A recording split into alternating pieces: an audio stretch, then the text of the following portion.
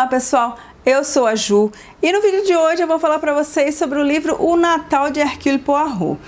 Essa é uma releitura para mim. Eu já tinha lido esse livro há uns 5, 6 anos mais ou menos e amado a história, então eu me lembrava assim de bastante detalhes, me lembrava do assassino, mas nada melhor do que reler o livro da rainha Agatha Christie, porque é sempre muito gostoso, sempre vai ser muito gostoso. E esse livro já era um dos meus favoritos e agora meu amor por ele cresceu ainda mais. Esse livro foi a nossa leitura do mês de dezembro no Clube dos Thrillers. A discussão ainda não aconteceu, na verdade será hoje, o dia em que gravo este vídeo, dia 21 de dezembro.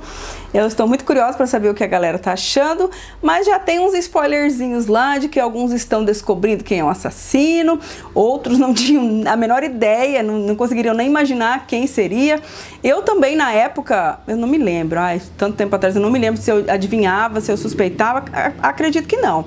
Tanto que aqui na releitura eu ficava assim, meu Deus, mas será que não era aquele? Eu tinha certeza que era aquele, aí tudo levava a crer que era outro, sabe essa confusão mental assim que dá de vez em quando na minha cabeça?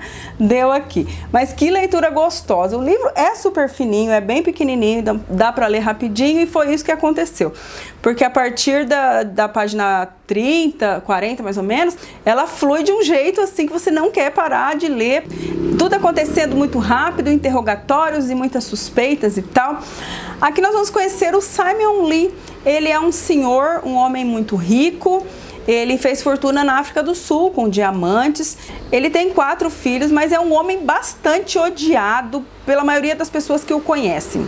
Apesar dele ser bastante generoso na medida do possível ali com seus filhos, eh, os filhos guardam muito rancor desse pai por algo que aconteceu no passado.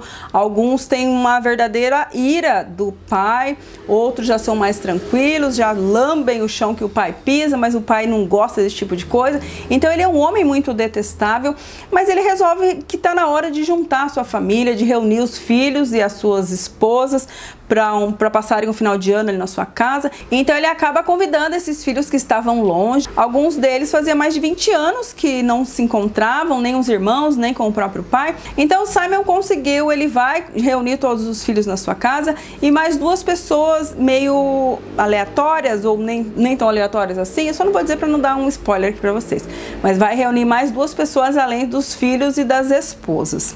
Na noite de Natal, Simon vai ser brutalmente assassinado dentro do seu quarto, ele vai levar muitas facadas e o mais impressionante é que o quarto, obviamente sendo um livro de Agatha Christie, o quarto está trancado por dentro, todo revirado, tudo caído lá, não tem arma do crime, mas o quarto está fechado por dentro. Então, como assim? Foi suicídio? Obviamente que não. Ninguém conseguiria se matar com uma, várias facadas e depois consumir com a arma, né? E então eles ficam ali atordoados, desesperados. E nesse momento, quem entra aqui na história? Sim, ele, o belga mais amado do mundo, nosso querido Poirot. Ele está ali meio que a passeio, visitando um amigo da polícia, e nesse momento acontece esse crime em uma cidade tão calma, ali na Inglaterra, né? E ele acaba entrando como uma espécie de consultor. Ele entra só para dar uma olhadinha ali, né, na cena do crime e tal. E obviamente nesse momento o seu cérebro já começa a arquitetar ali tudo que pode ter acontecido, quais as prováveis causas, quais os prováveis suspeitos. E, e na verdade a gente acaba percebendo que todos ali poderiam ser suspeitos. Todos, simplesmente todos.